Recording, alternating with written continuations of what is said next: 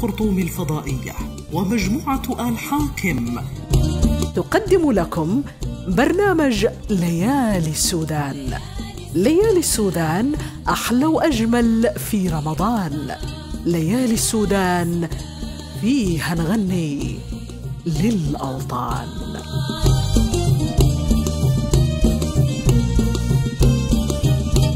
برنامج ليالي السودان بمشاركة الفنانة إنصاف فتحي. الفنانة رانيا محجوب. الفنانة منى مجدي. والفنانة شذى عبد الله. ليالي السودان أحلى وأجمل في رمضان. ليالي السودان فيها نغني للأوطان.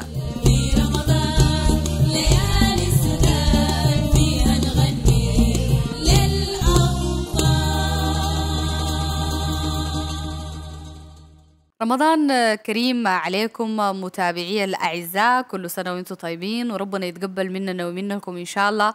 ودائما تأمين ولامين وبنشاهد في جولتنا السياحية حول ربوع الوطن الحبيب في ليالي السودان الأحلى والأروع والأجمل في رمضان. كل التحية والتقدير وأهلا ومرحبا بكم في جولة سياحية جديدة نطوف فيها كل ولايات ومدن السودان الحبيب. أهلا ومرحبا بكم.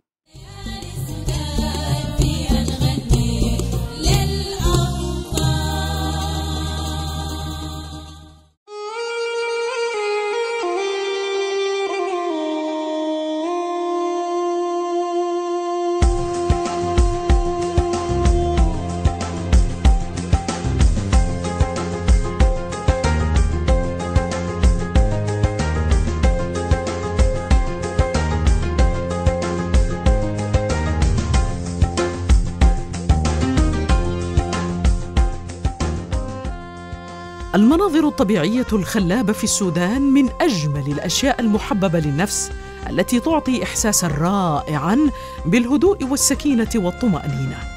لقد حرص فريق عمل برنامج ليالي السودان على مدار عام كامل لتوثيق المعالم السياحية والتراثية بالصورة التي تعكس الوجه المشرق للسودان الحبيب. وبالتأكيد أن العمل في مجال الترويج السياحي يحتاج إلى تضافر جميع الجهود على مستوى القطاعين العام والخاص لاستقطاب الوفود السياحية من جميع أنحاء العالم.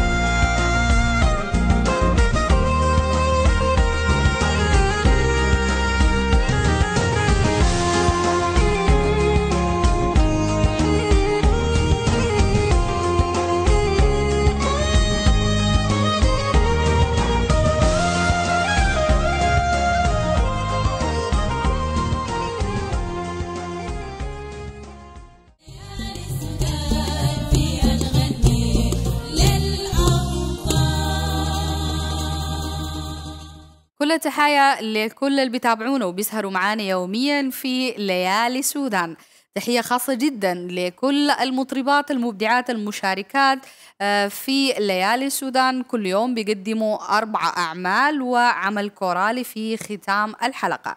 تحية وتقدير لهم آه، اجتهدوا وتعبوا بروفات وحفظوا عشان يقدموا لنا خلال الشهر الكريم 150 عمل. تحية لهم وتقدير لهم تحية خاصة جدا للفرقة النسائية المصاحبة بقيادة سارة شحاتة. أهلا ومرحبا بكم وكل الحب والتقدير والاحترام.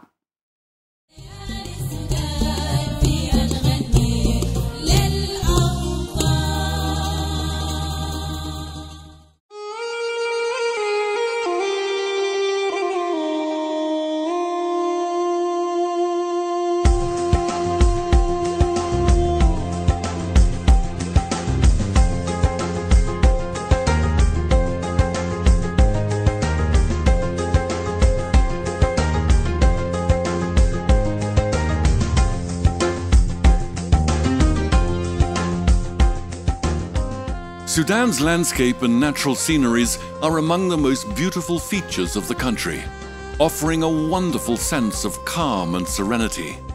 The Sudan Nights team had committed itself for a full year to document tourist attractions in a manner that reflects the beautiful side of our beloved Sudan. It goes without saying that promoting tourism requires us all in both the public and private sectors to join forces in order to be able to attract tourists from around the world.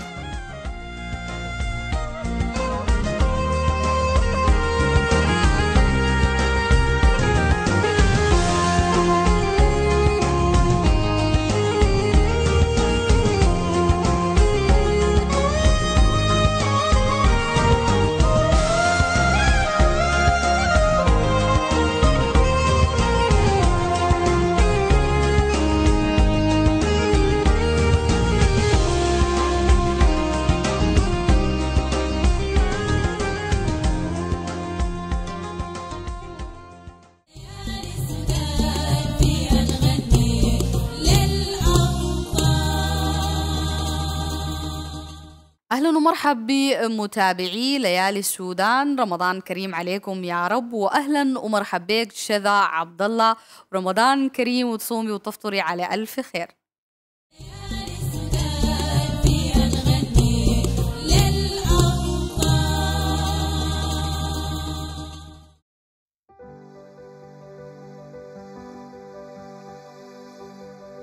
بسكت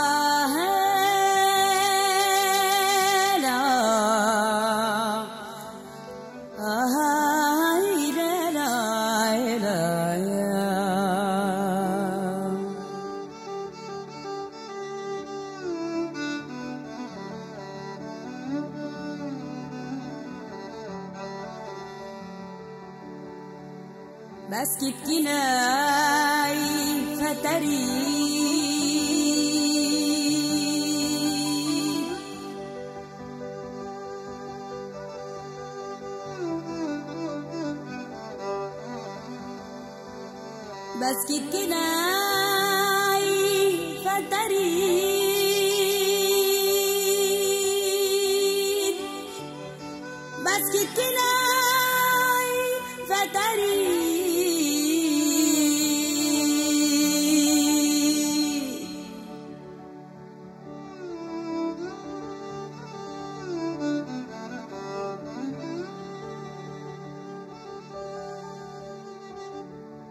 Sibamnai drari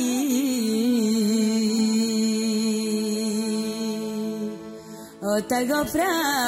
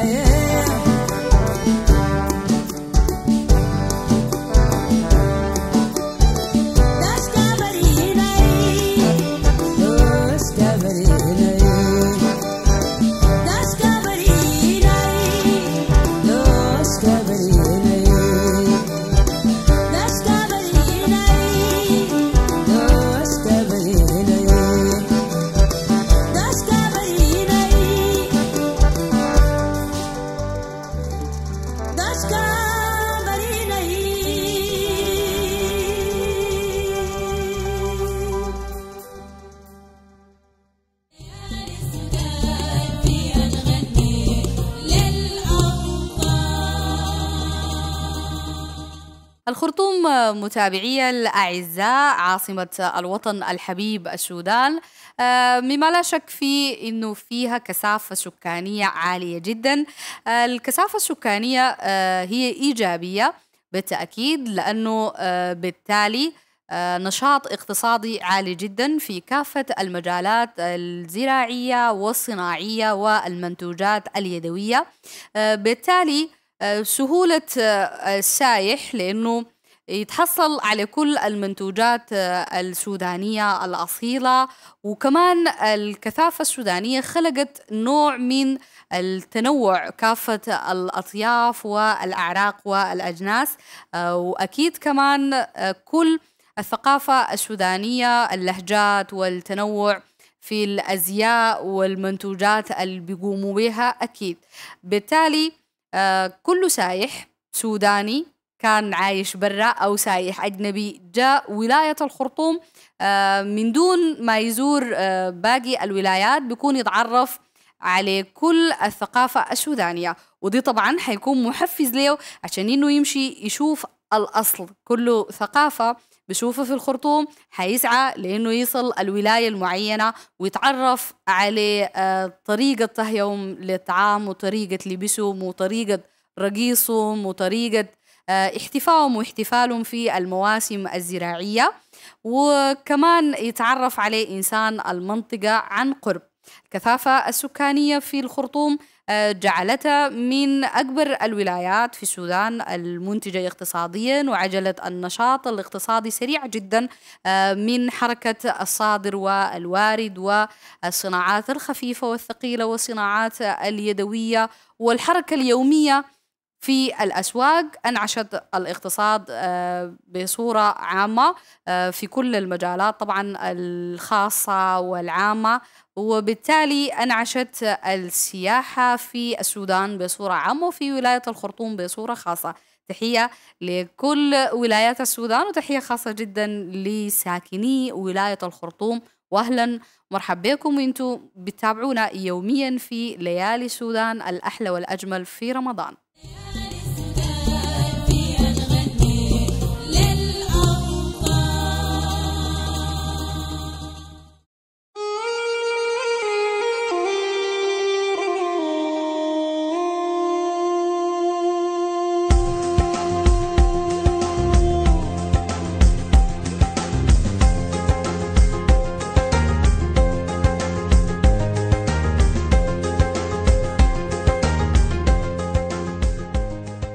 توجد بالقرب من منطقة المجرن البواخر النيلية والزوارق والقوارب الشرعية لتنظيم الرحلات للوفود السياحية لتفعيل النشاط السياحي بين ضفتي النيل لإعادة اكتشاف سحر النيل وجمال المياه وروعة الإبحار عبر المراكب الصغيرة حيث يفضل بعض السياح القيام بجولات على مجرى النيل وآخرون يريدون الوقوف على ملتقى النيلين ليستمتعوا بمشاهدة العاصمة المثلثة الخرطوم وام درمان والخرطوم بحري.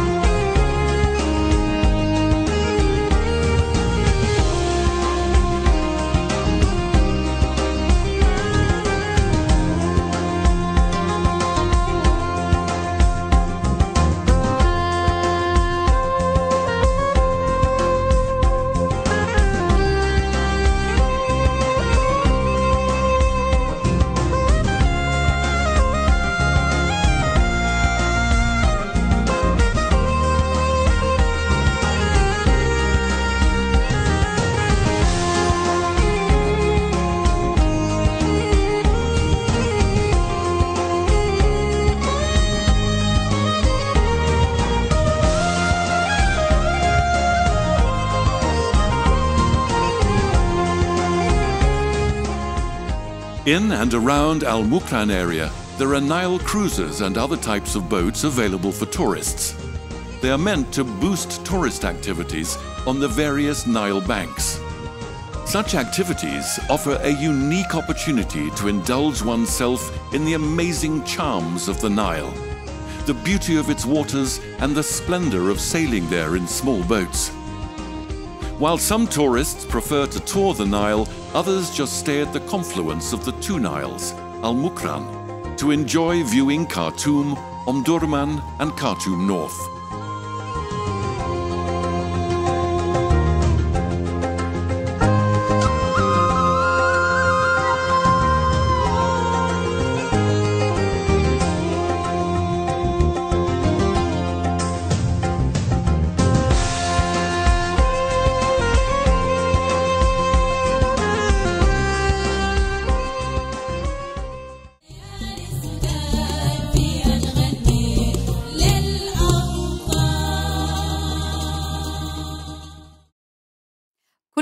كل التحايا لأصدقاء ومتابعي ليالي السودان.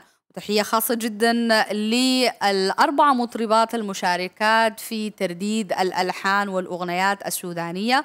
كل التحايا والتقدير لكل مبدعة سودانية أصيلة في كافة المجالات الحرفية والمهنية. وأكيد كمان الفنانات اللي بيقوموا بنظم الشعر وترديده في أجمل وأروع الألحان.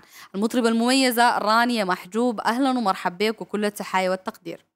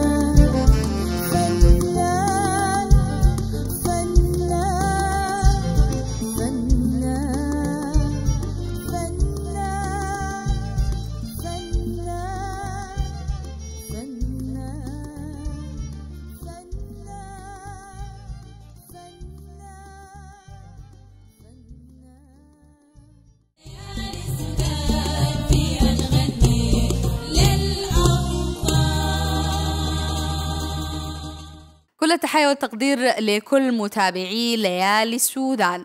من أبهى المناظر الطبيعية الخلابة في الخرطوم جزيرة توتي. طبعا جزيرة توتي آه، موقعها الجغرافي بين النيلين الأبيض والأزرق وتنوع آه، قاطنيها وساكنيها. لكن آه، في النهاية كلهم بقوا أسرة واحدة أسرة جزيرة توتي. آه، بتنتج آه، أروع المحاصيل الخضر والفاكهة. آه، بالإضافة للمزارع السياحية الممكن نقوم بأجمل الرحل العامة والخاصة فيها. وتنوع وثراء المنطقة من ناحية السكان. زي ما قلنا إنهم هم أسرة واحدة لكن أصولهم بترجع لقبائل سودانية عديدة آه، اتفقوا في إنهم بيحبوا الوطن الحبيب السودان وبيحبوا توتي. عشان كده بتلقاهم بيرحبوا بكل السياح وبكل القادمين من الوطن الحبيب بولاياته المختلفة وحتى كمان جيرانهم في بحري والخرطوم وأم درمان آه، بتلقاهم إنهم بيرحبوا بهم بابتسامة وبيقدموا القوارب بابتسامة وبقلوب مفتوحة آه، عشان يتنقل السايح والمواطن السوداني في أرجاء توتي. وكمان كل قاطني توتي هم مرشدين سياحيين عشان يشرحوا جمال المنطقة ويشرحوا آه، منتجاتها ودروبها وأي منطقة واختلافها من المنطقة الثانية داخل جزيرة توتي. كل التحايا لكل اللي بيشاهدونا وبيتابعونا في ليالي السودان وأجمل وأبهى المناظر من كل الوطن الحبيب. أهلا ومرحبا بكم.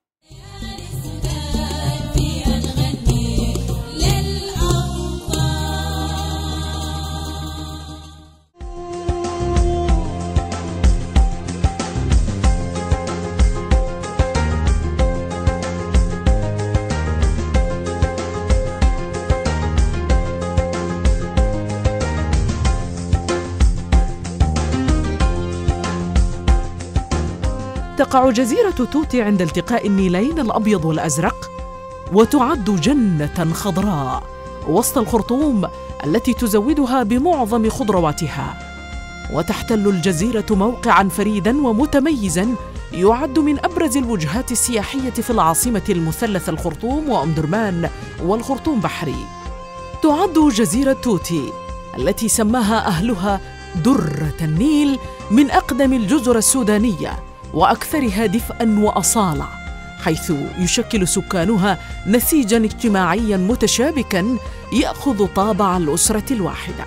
يوجد بالقرب من جزيرة توتي البواخر النيلية والزوارق والقوارب الشراعية والعبارات لنقل الركاب من العاصمة المثلثة إلى جزيرة توتي والعكس أو لتنظيم رحلات للوفود السياحية خصوصا بعد إنشاء كوبري توتي الذي ربط بين جزيرة توتي والخرطوم ليتجه ملاك المراكب والزوارق لتفعيل النشاط السياحي عبر تأجيرها للوفود السياحية بين ضفتي النيل بعد أن استهوتهم فكرة تنمية مواردهم الاقتصادية بالإضافة إلى إعادة اكتشاف سحر النيل وجمال المياه وروعة الإبحار عبر المراكب الصغيرة حيث يفضل بعض السياح القيام بجولات على مجرى النيل بينما يفضل البعض الآخر أن يشاهد جزيرة توتي من الناحية الشمالية. وآخرون يريدون الوقوف على ملتقى النيلين. ليستمتعوا بمشاهدة العاصمة المثلث الخرطوم وأم درمان والخرطوم بحري.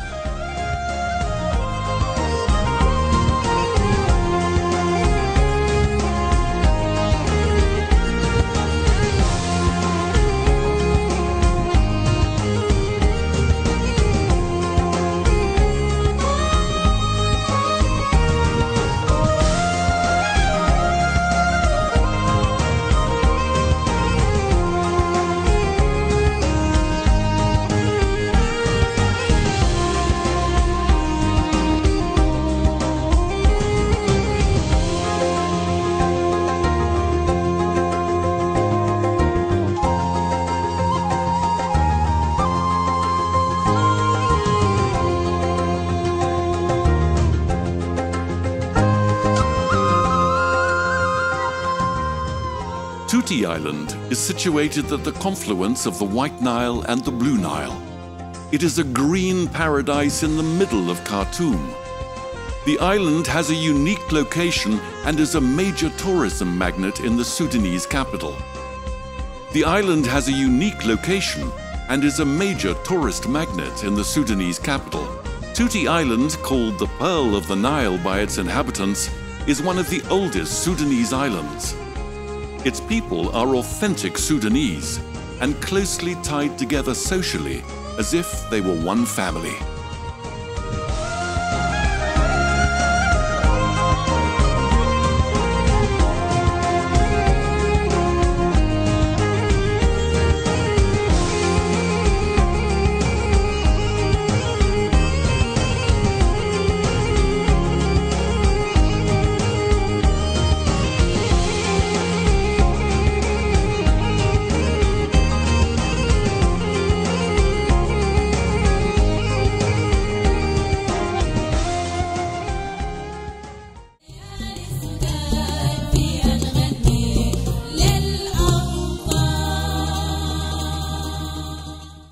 أهلا ومرحبا بكل اللي بيشاهدوا وبيتابعوا ليالي السودان يوميا بحرص أكيد. كل التحايا والتقدير لكل المبدعات الموسيقيات والمؤديات صاحبات أروع الأصوات.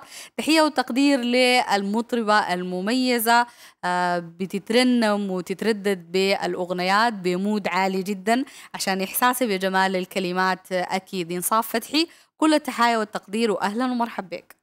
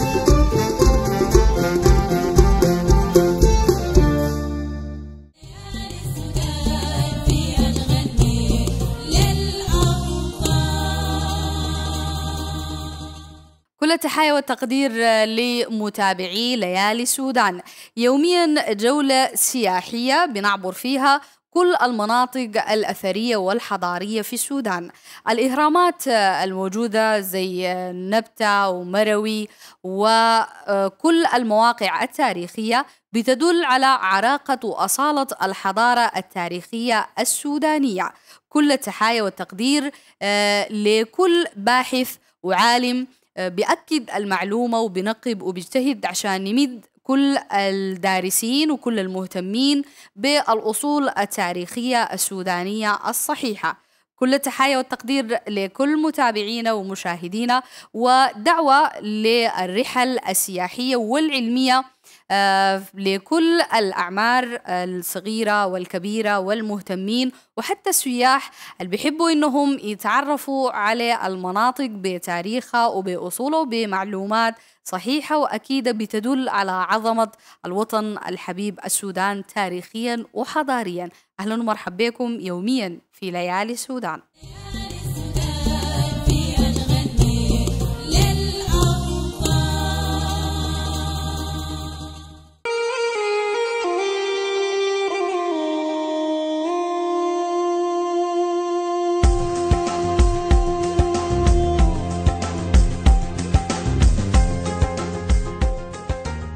تمثل السياحة الأثرية والتاريخية في السودان عاملاً مهماً في اجتذاب السياح من داخل وخارج السودان حيث تمثل أهرامات مدينة مروي وجبل البركل وأهرامات البجراوية أهم المواقع الأثرية لمدينة النقع التي تعتبر إحدى المراكز الهامة لمملكة مروي والتي يوجد بها معبد الإله أبادماك حيث يمتاز السودان بكثرة المواقع الأثرية المنتشرة في أراضيه والتي أصبحت قبلة للباحثين عن أصل الحضارات السودانية الأصيلة.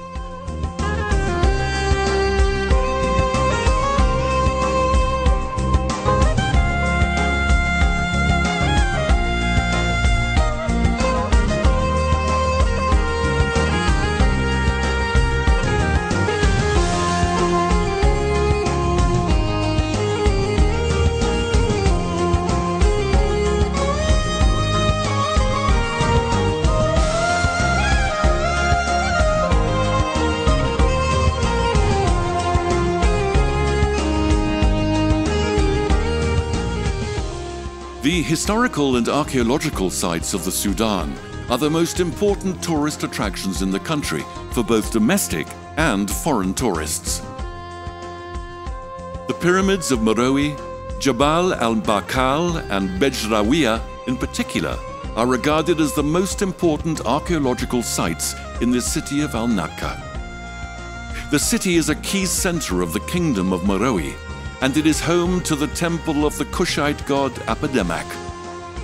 Generally, there are archaeological sites in many parts of Sudan, constituting real magnets for researchers interested in knowing about Sudan's ancient civilizations.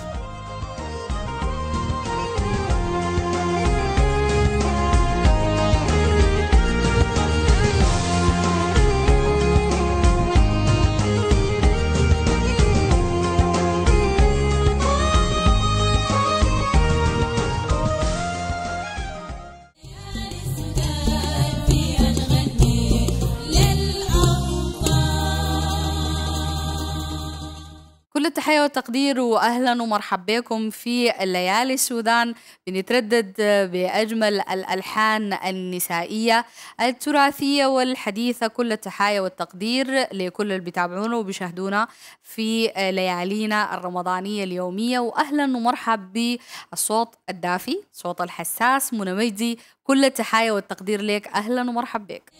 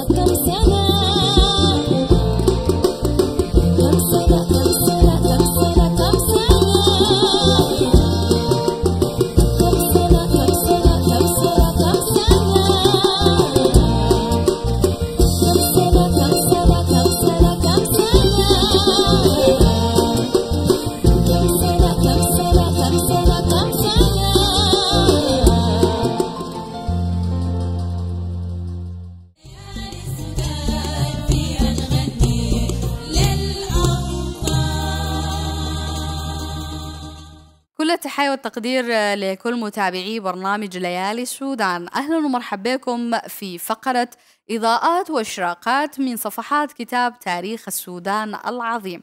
أهلا ومرحبا بكم.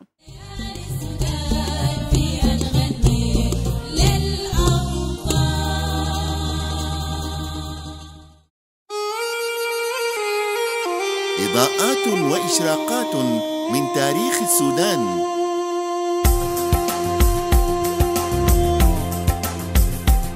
لقد استطاع أهل مروي أن يتوصلوا إلى اختراع أسلوب كتابة اللغة المروية الخاص بهم. وتتكون هذه اللغة المروية التي قاموا باختراعها من ثلاثة وعشرين رمزا واحد وعشرون منها عبارة عن حروف مفردة واثنان منها مركبة من حرفين. وبالرغم من أن الكتابة المروية قد استعارت كثيرا من الكتابة الهيروغليفية المصرية فإن هناك اختلافات أساسية في أسلوب الكتابتين. كما كان لأهل مروي طريقتهم الخاصة في الدفن والهتهم المحلية الخاصة بهم التي كانوا يعبدونها.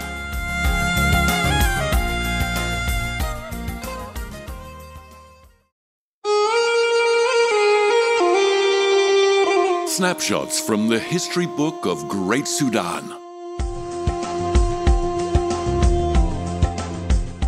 The Meroites managed to devise their own writing system for their Meroitic language. The Meroitic language alphabet consists of 23 signs, 21 of which are single letters and two are composed of two letters each. Although the Meroitic script borrowed a lot from the Egyptian hieroglyphic language, there are still fundamental differences in the style of the two scripts.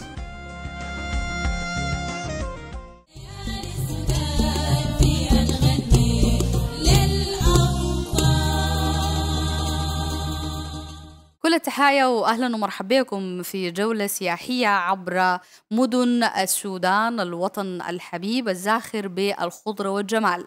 تحية وتقدير وخاصة جدا لولاية الخرطوم موقعها الجغرافي المتميز أكيد وأبهى منظر آه، في التقاء النيلين الأبيض والأزرق في مقرن النيلين شواطئ آه، متعددة وعديدة في الولاية بمدن الثلاثة بحري والخرطوم وأم درمان. آه النيل بيطل عبر المدن الثلاثة في كل إطلالة بشكل مختلف بهاء مختلف. آه توظيف له كمان مختلف في آه ضفاف النيل و كل مدينة آه، بتنظر له نظرة سياحية مختلفة وبتتوفر فيه مناشط مختلفة ما بين آه، الزوارق والمسابقات النيلية والكورنيش واستقلاله بطريقة إيجابية وبطريقة سليمة. عشان كل القادمين لمدينة الخرطوم من داخل وخارج السودان يقدروا يستمتعوا بطلة النيل وطلة آه، النهرين الأبيض والأزرق. أكيد كل التحية والتقدير لكم ودعوة مباشرة لزيارة كل مدن السودان لكن الانطلاقة والبداية من عاصمة الوطن الجميل الحبيب الخرطوم. أهلا ومرحبا بكم.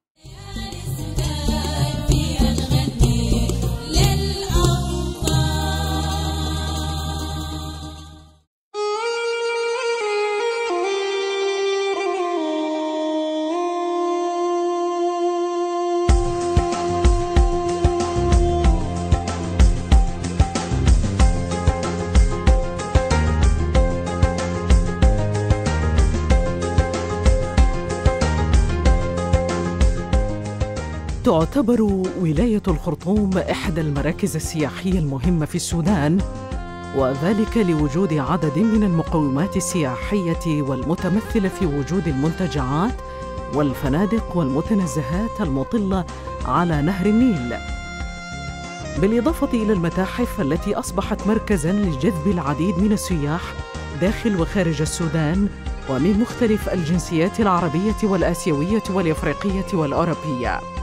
ومن أهم ما يميز هذه الأماكن السياحية بأنها تتوزع على مدن العاصمة المثلثة أم درمان والخرطوم بحري والخرطوم حيث نجد أن معظمها يتميز بخصائص عدة تتنوع وتختلف في مكوناتها.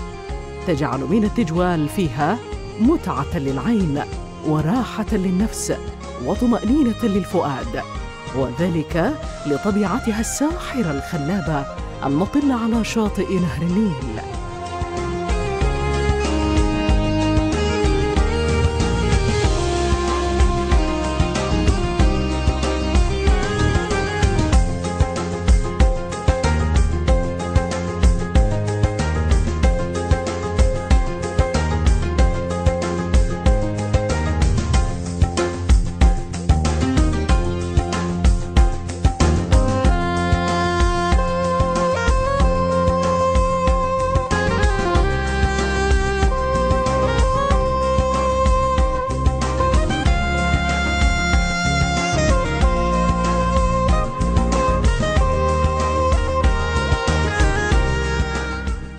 State of Khartoum is one of the key tourism centers in Sudan. It contains various resorts, hotels, and parks overlooking the River Nile.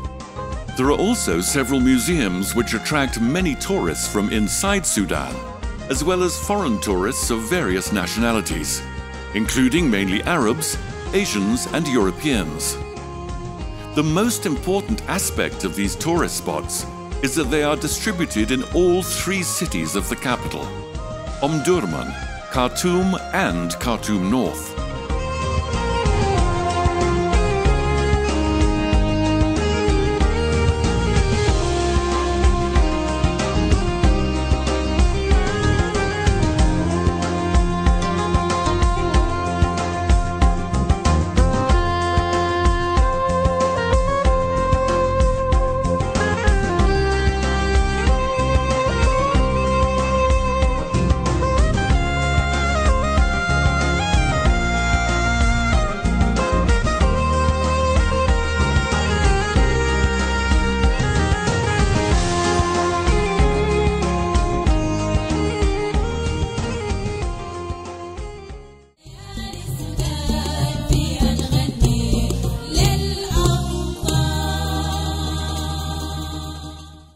التحية والتقدير آه، لكل اللي بيتابعونا وبيسهروا معانا يوميا في ليالي السودان. تحية خاصة جدا وتقدير للمطربات المشاركات بترديد أربعة ألحان فردية يوميا والختام أكيد عمل كورالي وطني. آه، بيحمل أجمل المعاني والكلمات عن الإرث والحضارة وترديد. أجمل الصفات في السودانيين من شهامة وكرم وجمال ابتسامة حاضرة في كل الوجوه السودانية. كل التحايا والتقدير لكورال برنامج ليالي السودان. أهلا ومرحبا.